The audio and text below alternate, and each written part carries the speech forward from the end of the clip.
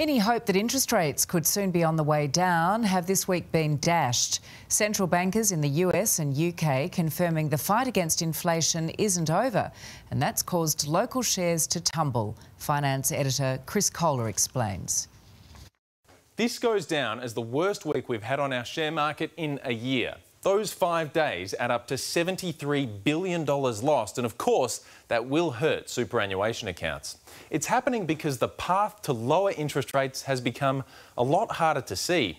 The head of the US central bank says the fight against inflation is far from over. The worst thing we can do is to fail to restore price stability because the record is clear on that. If you, you don't restore price stability, inflation comes back doesn't sound like much, but with his comments backed up by the Bank of England's Andrew Bailey, the market was in a panic. And here's why.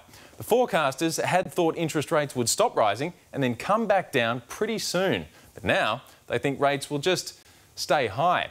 Here in Australia, the prediction has gone from two rate cuts next year to none. The only positive is that Australians are fighting back. They're chasing lower interest rates on their loans and smashing records for refinancing.